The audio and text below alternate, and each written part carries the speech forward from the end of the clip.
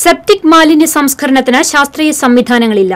Sewage treatment plant പ്രഖ്യാപനത്തിലൊതുങ്ങി പാതയോരങ്ങളിൽ septic മാലിന്യം തള്ളുന്നത് തുടരുന്നു. പാതയോരങ്ങളിലും വെള്ളക്കെട്ടിലുമാണ് മാലിന്യം ഏറെയും തള്ളുന്നത്. ജനവാസം കുറഞ്ഞയിടങ്ങൾ വയലുകൾ തോടുകൾ പുഴകൾ എന്നിവിടങ്ങളാണ് മാലിന്യം തള്ളുന്ന സംഘങ്ങൾക്ക് പ്രിയങ്കരം. സെപ്റ്റിക് മാലിന്യം പൊതുയിടങ്ങളിൽ തള്ളുന്നവർക്കെതിരെ കർശന നടപടിയെടുക്കുമെന്ന് മുന്നറിയിപ്പ് നൽകാറുണ്ടെങ്കിലും മാലിന്യം ഒഴുക്കുന്നത് തുടർക്കഥയാണ്. സ്വകാര്യ ഏജൻസികളാണ് സെപ്റ്റിക് ടാങ്കുകൾ വൃത്തിയാക്കാൻ കരാറെടുക്കുക പതിവ്. ഇക്കൂട്ടരാണ് മാലിന്യം പൊതുയിടങ്ങളിൽ തള്ളുന്നത്.